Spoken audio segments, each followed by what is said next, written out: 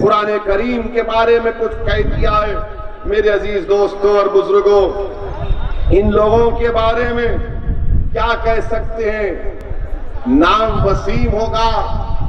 ये नाम वसीम नहीं, बल्कि इसको तो लईम पुकारना चाहिए।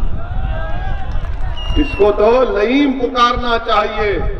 और ये लोग वो लोग हैं जो फिरका परस्ती को इजाफा करना चाहती है।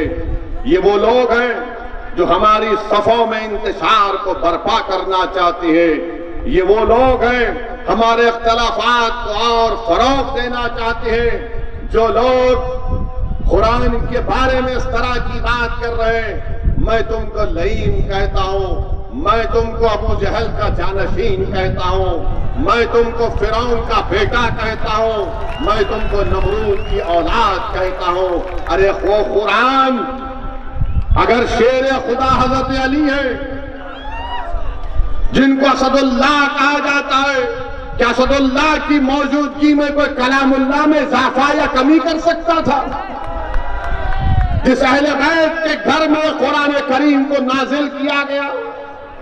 आज तुम इस तरह की वाहियात बातें करते हो। इंशाला ताला तुम बेइज्जत हो गए और दुनिया देखेगी तुमको। कि तुम्हारी बेजती को और तुम ज़िंदा ज़रूर रहोगे इंशाला तुम 130 साल ज़िंदा रहोगे।